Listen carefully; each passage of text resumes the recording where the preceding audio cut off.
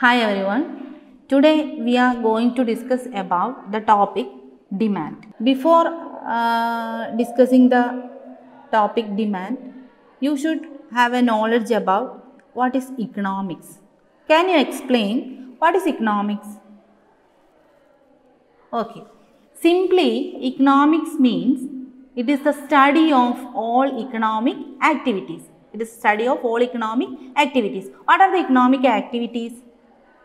That is production, consumption and distribution. Okay. So, economics is a social science that studies the production, consumption and distribution of goods and services. Okay. Then, the there are so many definitions for economics you have already studied what are they the adam smith uh, the welfare definition given by adam smith. Who is adam smith? Yes our father of economics. His famous work that is wealth of nations. Full name an enquiry into the nature and causes of wealth of nations in 1776 okay then in 1933 ragnar frisch divided economics into two branches. What are they? Microeconomics and macroeconomics. Microeconomics and macroeconomics. Then what is meant by microeconomics? Microeconomics deals with the individual economic units. It is the study of individual economic units. For example, individual demand, individual consumption, individual supply, etc. It, denotes the individual economic units. Okay. Then, what is meant by macroeconomics? It deals with the whole economy. It deals with the whole economy. For example, aggregate demand, aggregate consumption, aggregate income, etc. Okay. Then next uh, uh, next concept is demand. What is meant by demand? You have already studied in your plus 2 classes. Yes. What is demand?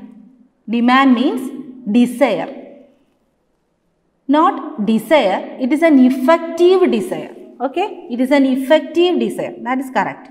Then simply Demand means an effective desire backed by willingness to pay and ability to buy. Okay. What is meant by demand? Simply, it is an effective demand, effective desire backed by willingness to pay and ability to buy. Then the next concept is demand schedule. What is demand schedule.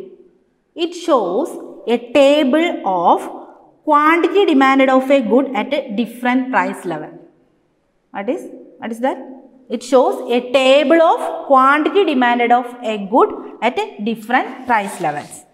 According to Alfred Marshall, demand schedule is a list of prices and quantities according to Alfred Marshall, demand schedule is a list of prices and quantities. There are mainly two types of there are mainly two types of uh, demand schedule.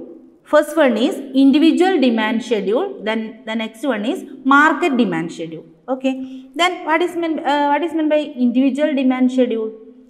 It represents re demand for an individual. Okay. Demand for an individual. Then what is meant by market demand schedule? It represents all consumers demand for a product. All consumers demand for a product that is market demand schedule. Individual demand that is uh, individual demand schedule. Okay. Then the next uh, concept is demand curve. Demand curve. It is a graphical representation of the relationship between price and quantity demanded. It is a graphical relationship between, a graphical statement of the relationship between price and quantity demanded. Then uh, what is the what is the shape of demand curve? It is downward sloping. Downward sloping. The demand curve is downward sloping from left to right. Okay. And also demand curve can be divided into two that is individual demand curve and market demand curve based on demand schedule. Okay, two types of demand curve, individual demand curve and market demand. It is based on demand schedule. Then the next concept is demand function. What is meant by demand function? It shows the functional relationship between demand and price of a commodity. is a functional relationship between demand and price of a commodity. dx is equal to function of px. dx is equal to function of px. Then we know that demand not only depends upon price but also depends so many factors, so many other factors. What are the other factors? That is income, price of related commodities, taste and preferences, etc. Then these are the uh, this this can be denoted in a this can be denoted symbolically dx is equal to function of px comma pr y and t. Okay.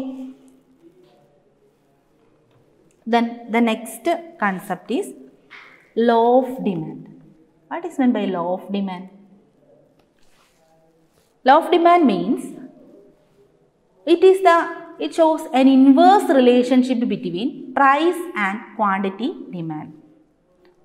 An inverse relationship between price and quantity demand. What is uh, uh, inverse relation? When price increases, quantity demanded decreases. When price decreases, quantity demanded increases. That shows an inverse relationship between price and quantity demanded. Then, uh, yes, what is meant by law of demand? How can uh, we explain law of demand? Other things remains constant. That is important one. Other thing remains constant. When price increases, quantity demanded decreases. When price decreases, quantity demanded increases.